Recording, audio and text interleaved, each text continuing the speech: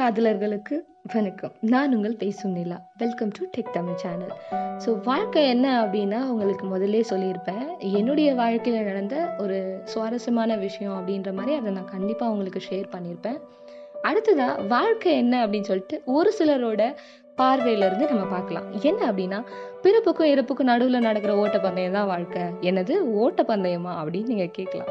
So இது எனக்கு ஒரு பாடல் மூலயமா புரிய வந்துச்சு. என்ன அப்படின்னா இன்பத்தில் பிறந்து இன்பத்தில் வளர்ந்து இன்பத்தில் மடிபவர் யாரும் இல்லை. இந்த சாங் நீங்கள் கேட்டிருப்பீங்க அப்படின்னு நம்புகிறேன் ஸோ அந்த ஒரு சாங்கில் எனக்கு பிடிச்ச வரிகள் அதுதாங்க.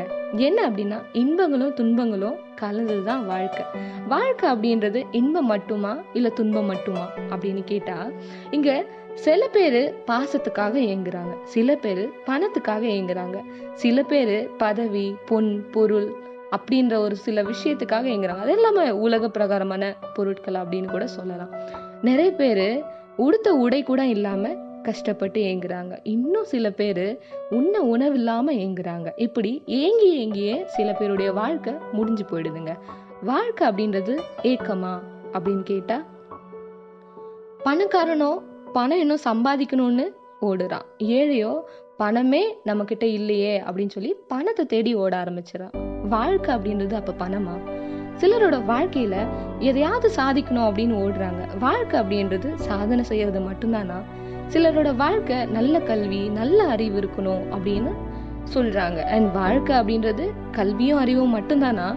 சிலரோட சிலரோட பார்வையில சிலர் மீது நம்பிக்கை வச்சு ஏமாந்து போயிடுறோம். நம்மள சிலர். ஸோ வாழ்க்கை அப்படின்றது ஏமாற்றமா? சென்றவர்களை எண்ணியே மனம் உடைஞ்சு கண்ணீர் விட்டுட்டே இருக்கும். வாழ்க்கை அப்படின்றது கண்ணீர் வடிக்கிறது மட்டும்தானா? இங்க நம்ம சந்திக்கும் ஒருவருக்கும் நமக்கு ஒரு பாடத்தை கத் கற்றுக் கொடுத்துட்டு போறவங்களா தான் இருக்காங்க. வாழ்க்கை அப்படின்றது பாடத்தை கற்றுக் கொடுக்கறதா? சிலர் கனவுகளை துறைச்சு செல்ல இயலாம இன்னமும் கஷ்டப்பட்டுட்டு இருக்காங்க. அப்ப வாழ்க்கை அப்படின்றது கனவு மட்டும்தானா?